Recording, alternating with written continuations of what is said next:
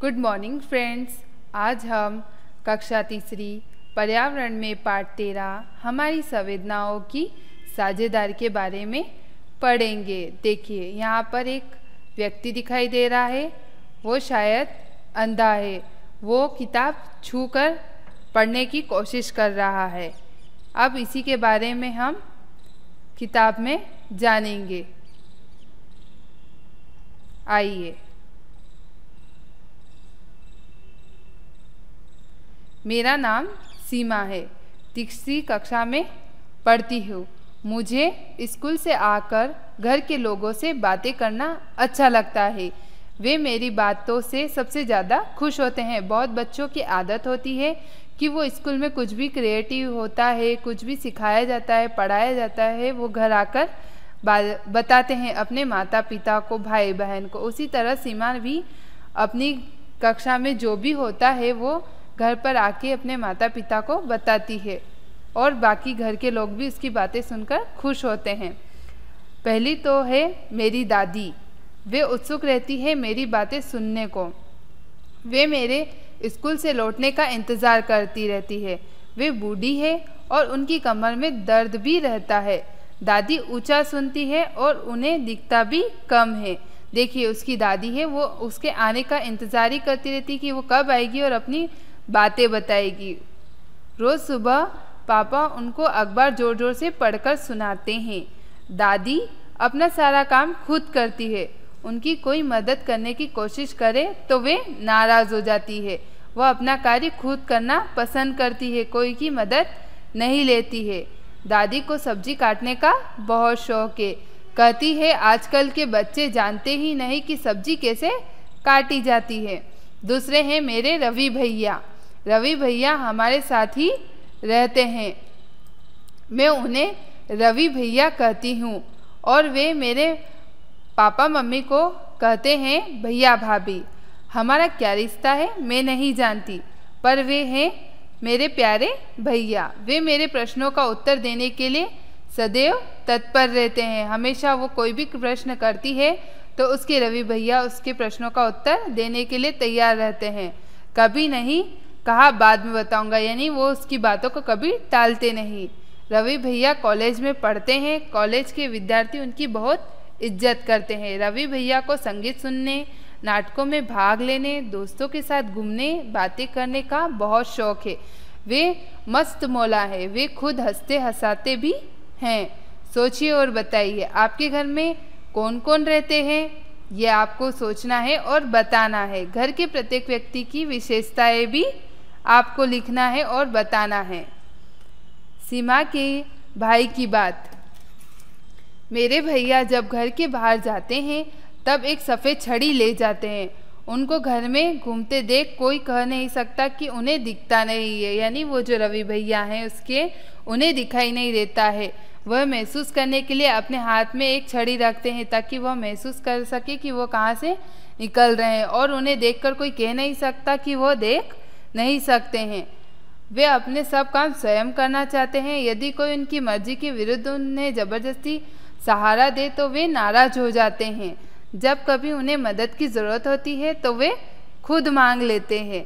रवि भैया के कुछ विद्यार्थी उनसे कॉलेज की किताबें ले जाते हैं और कुछ दिन बाद किताबों के साथ उन्हें टेप दे जाते हैं। यानी वो जो किताबें ले जाते हैं, उसका रिकॉर्डिंग करके वापस उसको टेप में रिकॉर्ड करके उसे रवि भैया को, यानी रवि नाम को सीमा के भाई रवि को दे जाते हैं, क्योंकि उसे दिखाई नहीं देता है, वह सुन सके और पढ़ सके और जान सके। रवि भैया टेप पर ही उन किताबों को सुनते रहते हैं। देखिए, रवि भैया जो है, टेप पर ही उन किताबों को सुन लेते हैं।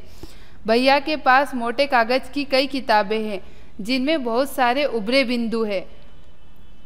पर वे उंगलियाँ फेर कर पढ़ते हैं। उन पर वे क्या करते हैं? उंगलियाँ पर, क्योंकि वह देख नहीं सकते, इसलिए वह क्या करते हैं? उंगली फेर कर महसूस करते हैं, क्या लिखा हुआ है? ठीक है? भैया को छेड़ने के लिए कभी कभी उनकी छड़ी की जगह बदल देती हूँ। वे परेशान तो होते हैं, पर नाराज़ नहीं। वे उनकी प्यारी सीमा जो ठहरी मतलब वो उनकी लाडली है, इसीलिए वो उन्हें कभी चिल्लाते नहीं। मैं अभी दरवाजे पर पहुँची ही थी कि भैया बोल उठे, क्यों सीमा, बहुत खुश हो? भैया, मुझे ही नहीं, घर के सभी लोगों को उनकी हार्ट से पहचान लेते हैं। अक्सर यह भी भाप लेते हैं कि मैं खुश हूँ या ना खुश। भैया, आखिर मैं फुटबॉल टीम में चुन ली गई हूँ। मैंने भैया को खबर सुनाई। भैया मेरी पीठ थप थपाकर बोले, आज से तुम ही मेरी फुटबॉल की उस्ताद हो। सोचिए और लिखिए। ठीक है। सीमा के पापा उसकी दादी को अखबार ज़ोर ज़ोर से पढ़कर सुनाते हैं, तुम बड़ी उम्र वाले लोगों की कैसे मदद करते हो? तो मैं अपने दादा, दादी की मंदिर जाना जाता हूँ। और उन्हें समाचार पत्र पढ़कर सुनाता हूँ। जब कोई व्यक्ति बूढ़ा हो जाता है, तब आपको क्या क्या तकलीफ़ें हो सकती है? उसको क्या क्या तकलीफ़ें हो सकती है?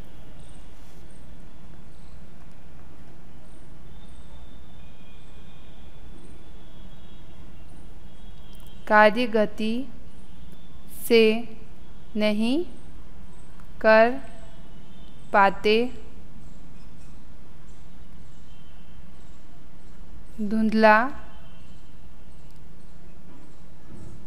दिखाई देता है।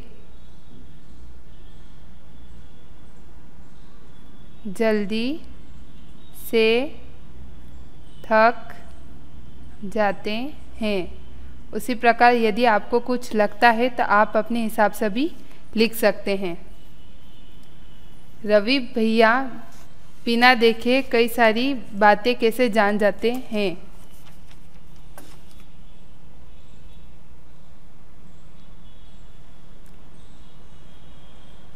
रवि भैया।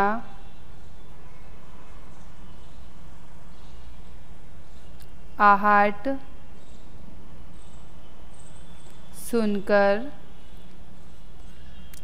सारी बातें जान जाते हैं। आपको कभी छड़ी की ज़रूरत पड़ी है? कब? हाँ। एक बार मेरा पैर मोच खा गया। तब।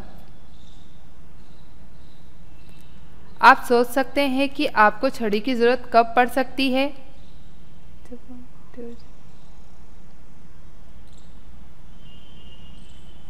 हाँ जब हम बूढ़े हो जाएँ या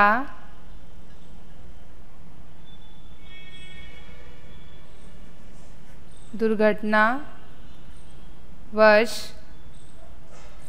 शरीर कमज़ोर हो जाए तब। हम उन लोगों की मदद कैसे कर सकते हैं जिन्हें दिखता नहीं है?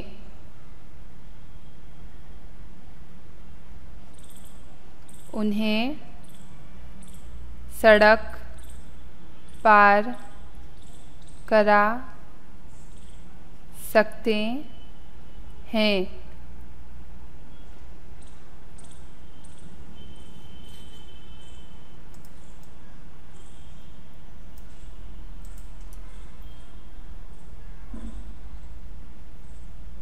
अखबार पढ़ कर सुना सकते हैं।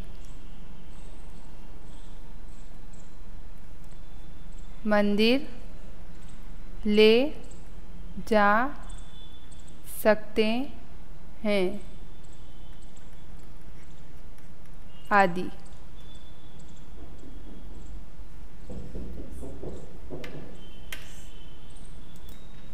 पार्ट एक कंप्लीट हो गया है। अब पार्ट टू हम आगे पढ़ेंगे। Thank you